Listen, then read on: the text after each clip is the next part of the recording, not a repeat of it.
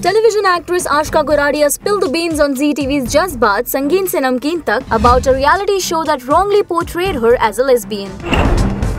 Talking about the same to a leading news agency, Aashka said, My sexuality was portrayed in a wrong way. I was intentionally made to come across as a lesbian on this reality show through editing tricks and it was extremely embarrassing for me and my parents. I was rubbing balm on a sick fellow in mid's body after she had broken into an allergic reaction.